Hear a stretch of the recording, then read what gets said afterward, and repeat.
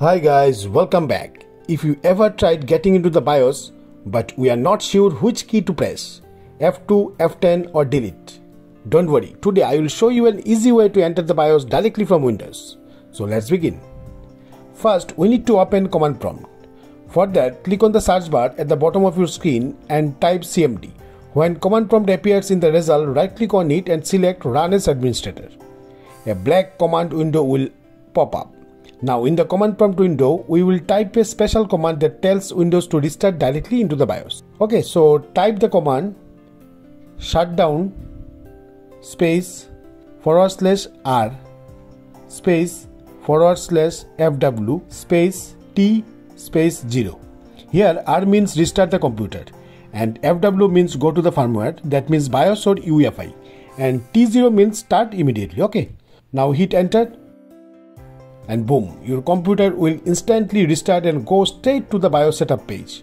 No need to press any key during boot. This trick is perfect if you are confused about which key to press during startup. But here the things, the problem is you might forget that command after a while or maybe you enter the BIOS frequently to tweak boot setting. Typing the command every time, that's a hassle. So let's create a desktop shortcut. So you never have to remember that command again, okay? So for that, right click on the empty space on your desktop, hover over new, then click shortcut. Now in the location box, you write that command once again. Then click next. Now give your shortcut a name like enter BIOS. Then click finish. Boom. You now have a desktop shortcut that restarts your PC and takes you directly to the BIOS and if you want to make it look cooler just change the icon. So right click on the new shortcut and select properties. Under the shortcut tab click on change icon. And you need to pick any icon you like. Click ok then apply. And finally ok again.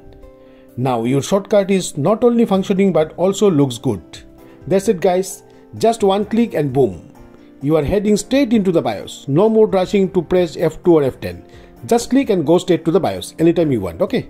If you found this helpful, give it a like, share it with your friends and don't forget to subscribe for more practical Windows tips. See you in the next video.